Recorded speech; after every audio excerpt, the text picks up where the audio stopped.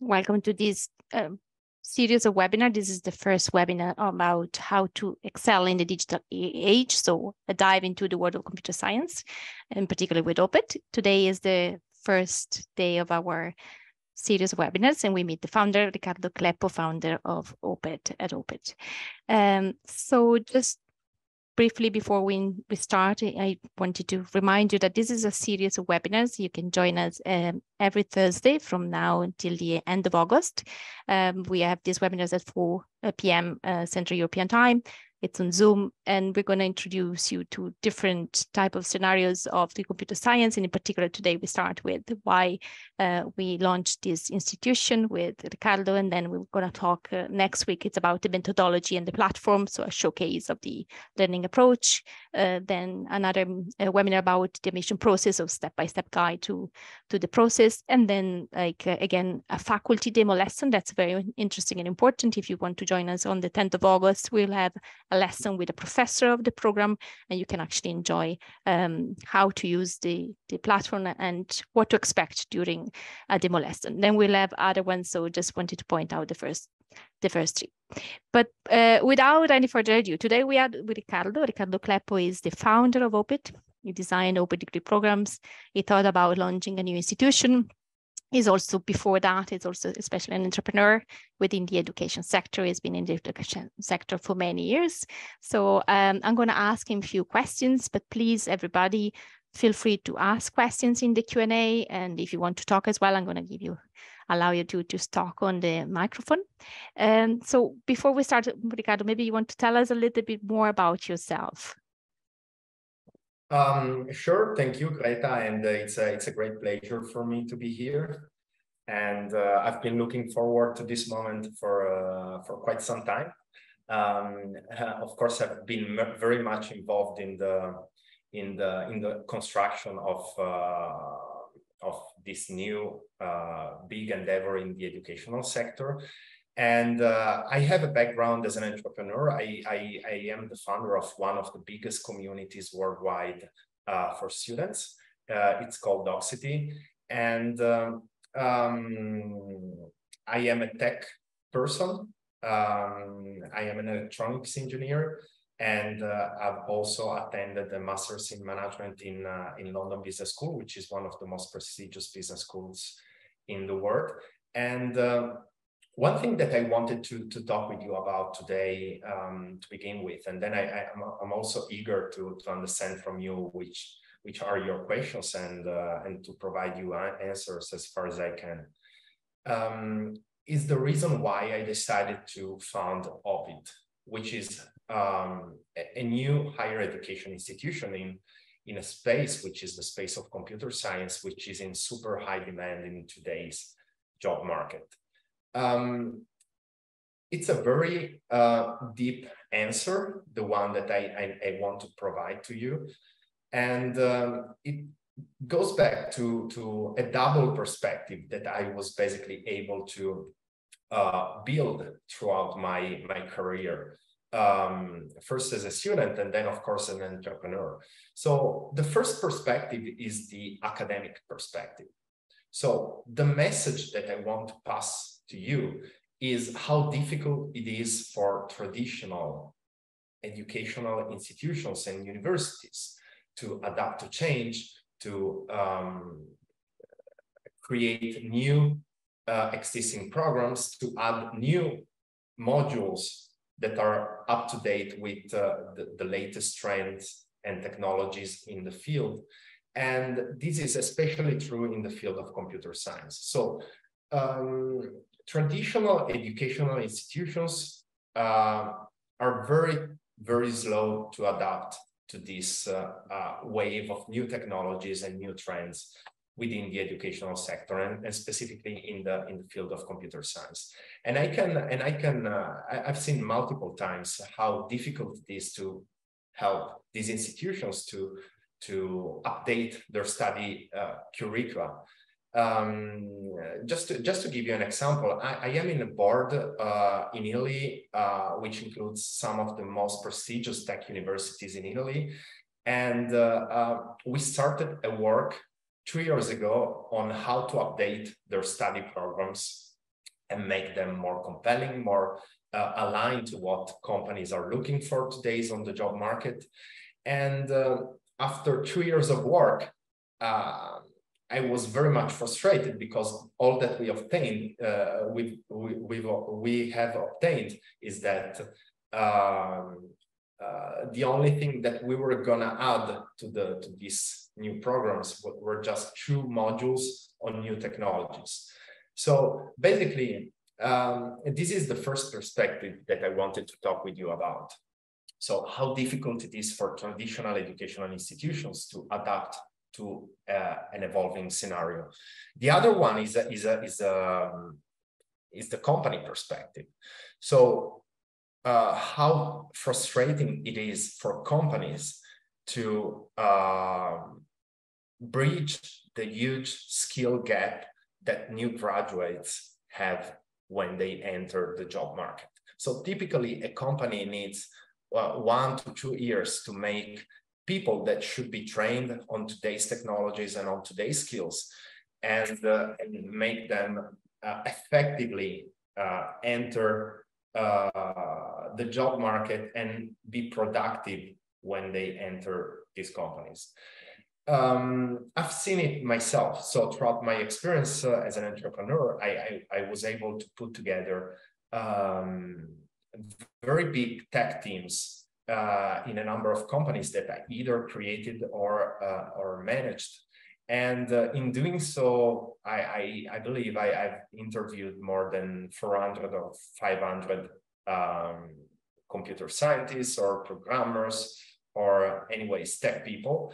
And uh, I've seen it myself the difficulty of finding the right candidates. And when I when I mean finding the right candidates, I mean people that are trained on today's technologies, not on 20 years ago's technologies.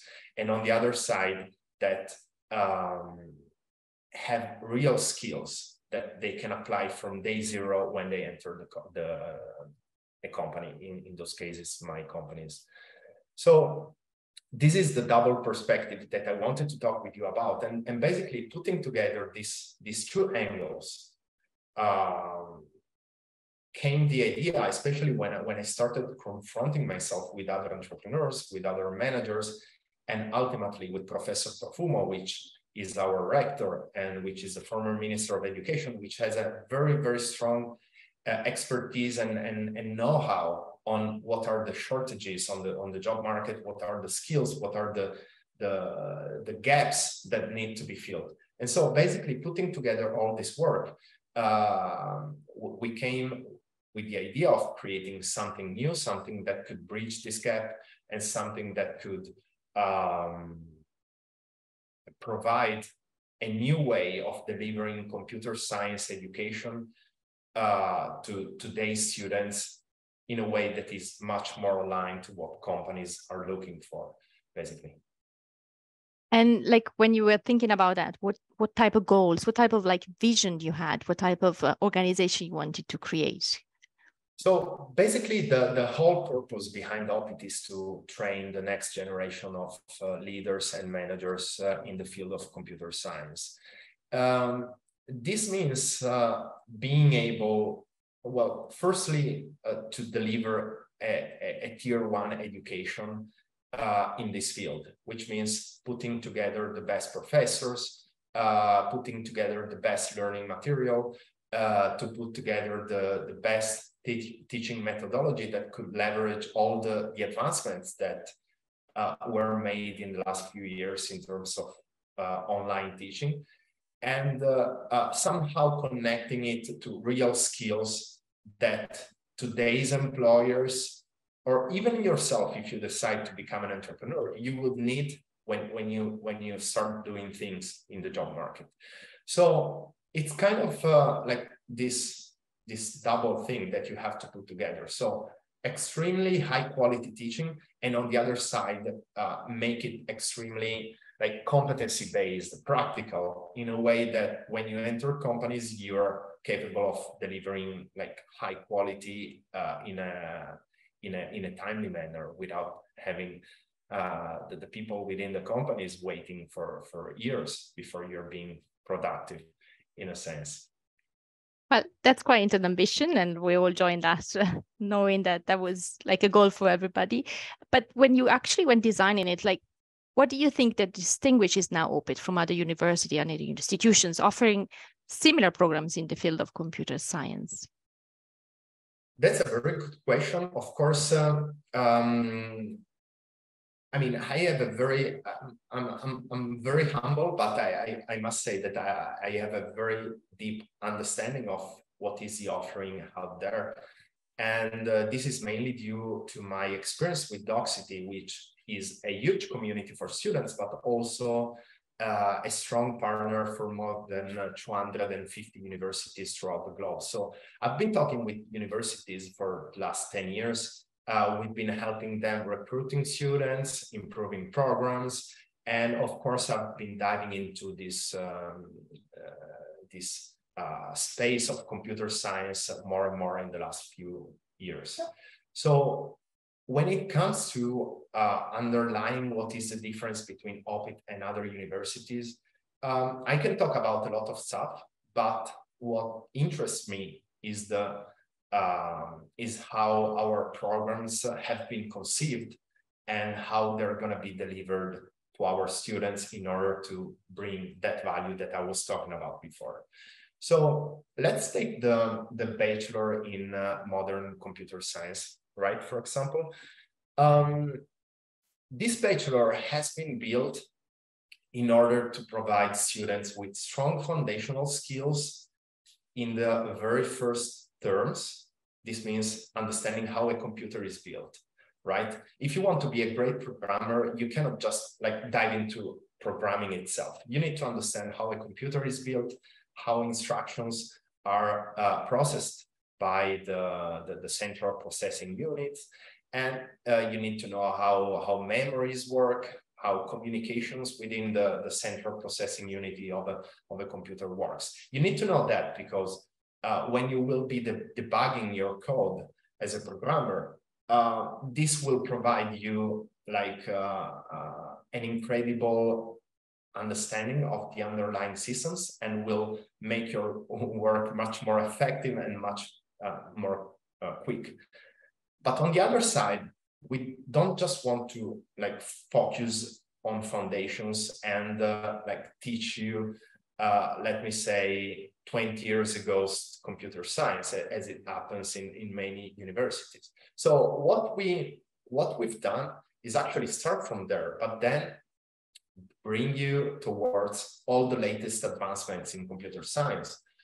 So gradually you will start having modules on introduction to machine learning, artificial intelligence, data science, uh, cybersecurity, cloud computing, and uh, uh, in a way that you will basically have a, a, a unique and very broad perspective uh, on the field of computer science.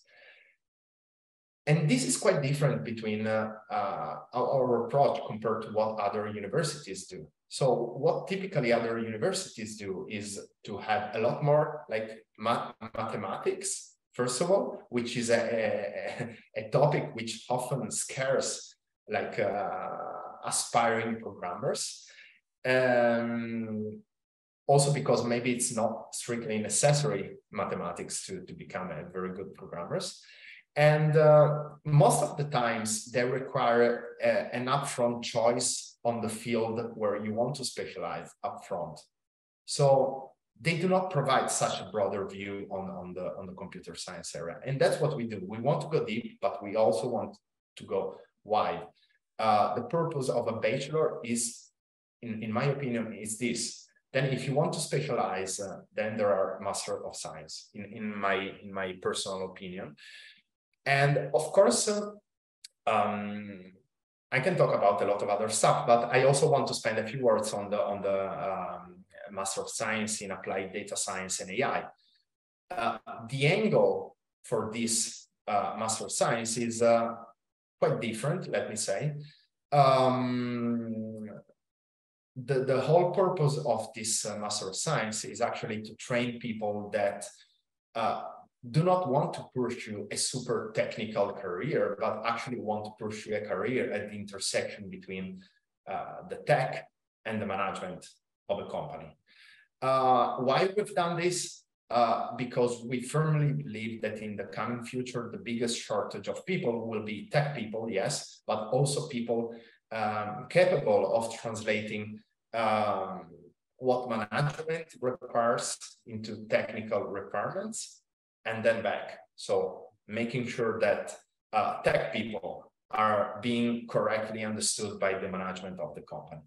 And so with this Master of Science, we, we've basically um, put together quite a unique product, which is uh, quite a, quite unique in the in the overall panorama of uh, of computer science uh, training.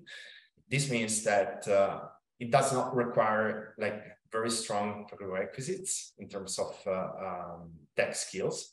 We will provide students with uh, strong foundational skills in Python, in cloud computing, in uh, machine learning, and in AI within term one. Um, we will do that uh, theoretically, yes, but also with an applicative uh, uh, angle, which means that you will learn to use the available tools today's on the today that are today on the market. Uh, we will provide you with uh, a lot of uh, um, business understanding through some courses which are business communication and business problem solving. And all the, the whole goal of this term one is actually to make you prepared for term two, which is where you will take the learnings both on the business side and on the technical side, and with professors coming from um, very tier one uh, uh, academic institutions, but also tier one companies like Morgan Stanley and others, you will basically capable of learning a methodology of adapting these learnings to real life uh, problems and uh, uh, real life uh, company scenarios and and basically train for what you will be doing when you enter the, your your next your next job. So helping business grow by using ai and data science so um, I can, I, I can, Greta, if you want to jump in, you, you can. Yeah, I, I, no, there was I a... have a few more things to say. yeah, no, just there was since you just uh, said something about the methodology, the learning experience. We received uh, many questions about the mm-hmm. learning experience. So maybe if you like to elaborate a little bit more about that, just I give you an example. I was talking to a candidate like an hour ago, and he was just asking, "What is the difference? What does it mean about taking the exams continually, like the continuous assessment? How do I learn more? It's just uh, something that uh, maybe mm-hmm. uh, Mm, we're not used to in the standard uh, traditional education. So, um, absolutely. Um, so, what is the main problem of online education? Um, in my opinion, is to get lost, to, to not be followed, to uh, have uh, very few checkpoints that uh, actually will make you lost throughout the process. And this is this is proven by num- a number, an incredible number of uh, statistics and, and, and, and reports and white papers. So if we want to be successful as an institution in delivering our promise to our students, we have to find a way to, to make this kind of learning engaging and, uh, uh, and, and, deep at the same time.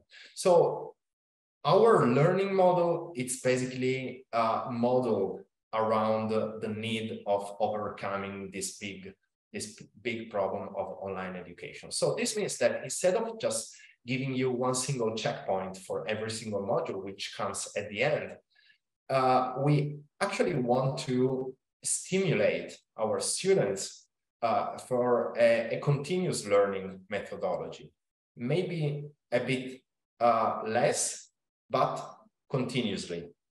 Not that uh, uh, like students will not like like not developing a methodology that will uh, allow students to, to not follow the lessons or to not uh, go through the material for the, the, the, most of the course and then take the exam at the end, uh, which ultimately translates in um, like again getting lost, poor understanding of the concepts, and uh, and also a lot of stress let me say which is not good for health and, and especially also for learning.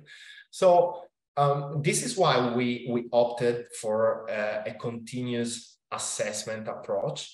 And in order to support that, we're not just using available resources or resources created for the oldest wave of education. So we're creating from scratch all the learning material uh, that you will be accessing when you will be on the platform. This means that um, we're training, you might smile on that, we're training our professors on our learning methodology.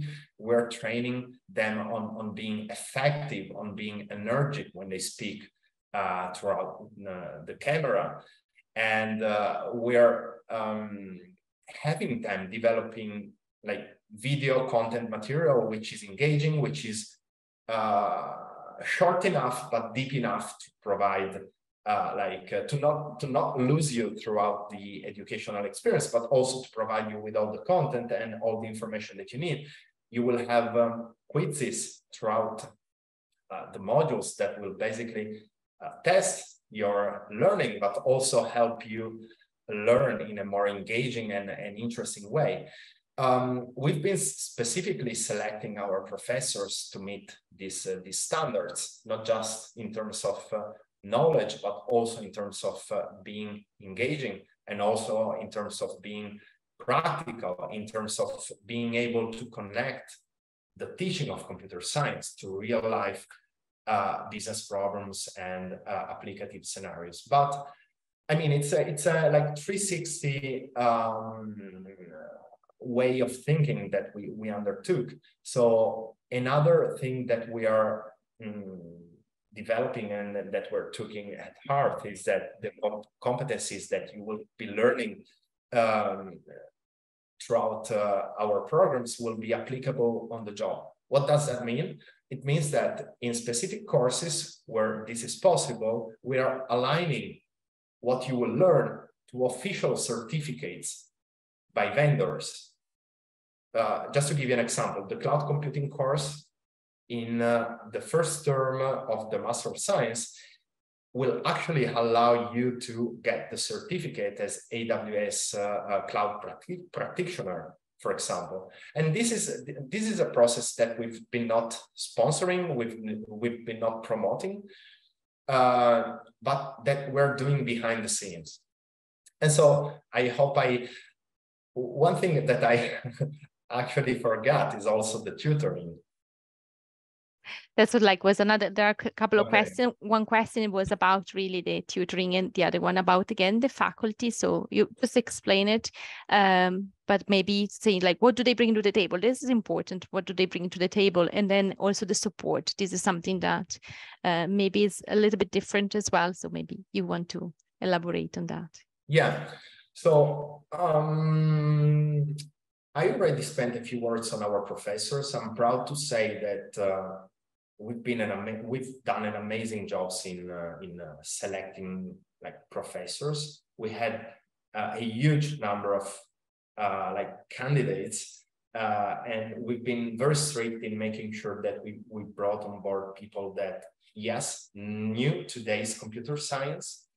Uh, which is not for granted. I mean, when when you're like bringing on board academics, it's not for granted, let me say. So we wanted to have people that are extremely up to date uh, with the latest technologies and the latest trends in the field. But we also wanted to bring on board people that could combine academic teaching with strong uh, competencies learned um, while like working in a, in a, in a company.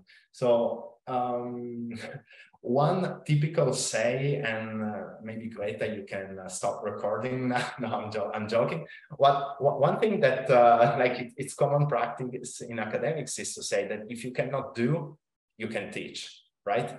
We, we didn't want to have people that uh, uh, can teach because they cannot do. We actually wanted to have people that uh, do and know how to do, and so they actually also know how to teach. And this is the, the standard that we, we took into consideration in bringing people on board and, and professors on board. So this is what you can expect. You can expect people that are engaged with our mission, that are very, very knowledgeable in terms of uh, today's computer science and uh, that are capable of providing you with that extra thing that will make uh, hopefully the learning experience uh, very great with us. Uh, spending a, a, word on the tut on the on the tutoring or, or on the support that we will provide. I, I guess that if you're here, you already met with uh, with Greta, you already met with Chiara, you might have met uh, um, Rosario and a few other people in the team. We apply the same standard that we have for professors, with uh, making sure that um, the the whole let me say administrative team in Opit it's uh, it's made of great professionals on one side, but on the other side, we're also making sure that you will receive the, the best um, uh, spot on support, like when you will need help on specific areas of your studies or on how like machine learning uh, algorithms are trained or whatever. And to do so, we're making sure that we're bringing the best tutors on board and uh, um, basically through our platform and possibly through our social networking uh, software, uh, which is likely to be Slack, um, you will be able to access uh, um, like uh, seven days a week support from uh, from our uh, tutors, which will basically be there to help you answer those needs and uh, hopefully also bridge that gap that I was referring to before, which is uh, like making sure you don't get lost. Perfectly. I always say that like sometimes they sleep our tutors because they ask 24 7, but they sleep as well. Just like, but they will be available. This is kind of a difference sure. with others for sure. Um, then I, I ask everybody if you want to ask questions, please write in the chat, or if you want to talk, I can give you also the permission to talk. I, I have the power to to just give you that. Um, I we received one question, like beside questions about um, in general this was also a question that was asked to you, I think, in an interview. In such an evolving field like the computer science. What key elements, how to prepare best to this ever-changing landscape of technology and industry demands. So this is something that uh, is asked a lot as well by so many uh, journalists in general. How how to adapt to this ever-changing landscape? What do you think? so one thing that i can tell you and um, i've been a programmer myself. I said it many times. I'm a, I, I, I love building tech products. Um, one thing that i want to to stress and maybe a bit more is that uh, if you learn a programming language and if you go straight to, to programming like like many coding schools do like many coding bootcamps do that's what you learn. So and and and computer science is made of uh, like fashions, right? So today there is uh, React or there is uh, JavaScript or there is uh, Java for for for the backend and and so on. And tomorrow there might be something else. So if you do that kind of path, which uh, brings you like straightforward to the to the outcome, which is learning a programming language, the, the real danger that you will face in a few months or in a few years is that the programming language will change and you will have to, to learn, a new one. The, the, what, what I love about higher education and about uh, a, a, deeper way of seeing your learning experience and your training is that uh, with our program, but I'm saying with, uh, with a bachelor in computer science in general, what you will learn is to learn the fundamentals of computer, computer science, right? So you, you will not just like go straight to the point and learn the latest technology. You will learn the basic foundations. And by doing so, you will be able to adapt as the uh, computer science field will evolve and will evolve. And it's evolving as we speak. And uh, um, I believe this is the, the best way to like future proof your your career so you're saying that you never stop studying anyway. Learning is continuous. Yes. Okay. Okay i see there is a, another question due to this i missed the beginning so i apologize but i want to ask where the idea for opit originated from. So we did talk about that but maybe riccardo as a as a finishing comment do you want to go back to that so that you can Sure. And uh, again, if you have any more questions, uh, like feel free to, to ask. So just to, to make it very short for the others that were here from the, the very beginning, uh, it goes, goes back to my experience. And in my experience, I was able to put together um, a double perspective. One is from the academics point of view. Um, I've been talking with hundreds of universities throughout my entrepreneurial experience with, with Docsity. And, um, and I've been involved in a lot of like uh, tables with top universities in Italy for updating the, the, the teaching of computer science. And I've been frustrated myself to understand how difficult it is for these institutions to adapt to a change.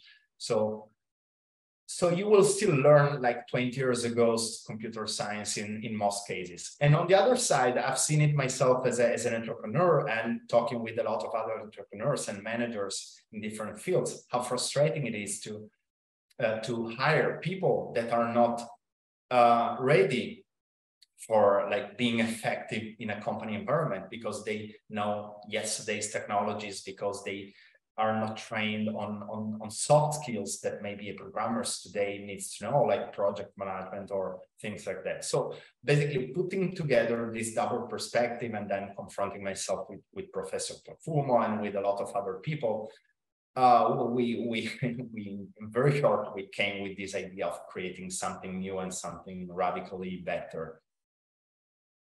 Okay.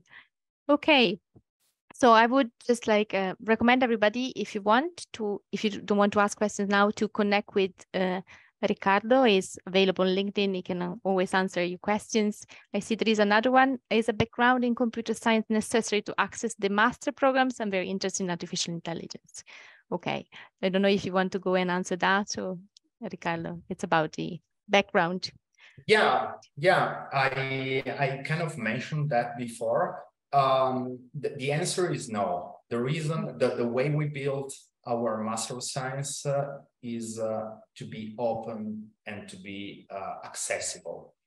Um, this means that uh, we will teach you the foundational of like tech uh, from from the very beginning, from term one, um, this means that you will learn cloud computing, you will learn Python, you will learn AI, you will learn uh, uh, machine learning, but mostly from an applicative point of view. So when you will not become the super tech because it will take years, of course. and uh, but what what you will need to know is to understand what what you're talking about and to understand how to apply this knowledge to real like company problems. So what we actually need is not strong tech prerequisite. What we do need is a strong motivation and a strong interest in the field of computer science. This is a thing that we need throughout the programs. So uh, the success, of course, uh, is, uh, is a combination of what we will be able to deliver you and how uh, genuine and strong is your interest in developing these skills, of course. And uh, the intersection will, will make up for the success. Okay, thank you so much again, Carlo, for being with us. As I said, for any further questions, uh, you can always reach to either us or Riccardo himself on LinkedIn. He's always there available to answer. Um, I'm going to continue with presenting a little bit the courses. And so if you if you have more questions for Riccardo, as I said, you can write them here or reach out later on. But for the meantime, thank you so much for being having been here with us. Okay. okay, so I'm just gonna just very briefly continue the presentation. Um, this was just like Riccardo saying that I wanted to share with you again because it's very important for us that we wanted to start from scratch to go beyond the limits of the traditional higher education. And we started, as I as Riccardo mentioned, with two programs. One is the Bachelor in Modern Computer Science, and the, the other one is the Master in Data Science and Artificial Intelligence. So a few words about the Bachelor. Riccardo already said much, many things about it, but just very briefly about the um, how how it's actually designed. It's designed over three years, but you can actually do it in two years. This is another uh, key facts uh, of our programs. You can study um, the programs with a fast track option. By sacrificing a little bit your summer, you can actually finish a bit early in both programs. We will start in September uh, the 25th of September 2023. As Riccardo said, it's a competency-based teaching approach, and we're very focused on students with progressive assignments. And the, the bachelor is divided into um, six terms. Um, in every term of the first five terms, there is uh, also a business or general management course, and then you have the, the fifth term, which is about the electives. You can choose five electives out of 13. And at the end, a dissertation. So a dissertation is a thesis, a project, something about putting into practice everything that you have learned. The, the program, as I said, uh, will start on the 25th of uh, September. And if you finish, if you just mm, go for the fast track, you will finish up after two years. The master in applied data science and artificial intelligence is a master of science. So while the, the bachelor is 180 ECTS, because we are, of course, accredited and uh, as degrees, we, we actually issue ECTS. In this case, we are 90 ECTS and it's an 18 months program. So one year and a half that you can actually finish in one year if you just go for the fast track. Um, you already mentioned about applying your knowledge in multiple industries. So it's a lot about application. We give you the foundation at the beginning, and then you move on to the applied um, data science, artificial intelligence to different business scenarios. Again, with business communication and project management courses along the way, with the certification that we mentioned before, and there are no specific prerequisites on computer science to answer one of the questions that was asked. Um, again, you will finish with the final project or an internship. So an internship within the company, if you're already working for a company, could be a consulting project for your own company. And again, we're going to start in September 2023, so the 25th of September, together with the bachelor.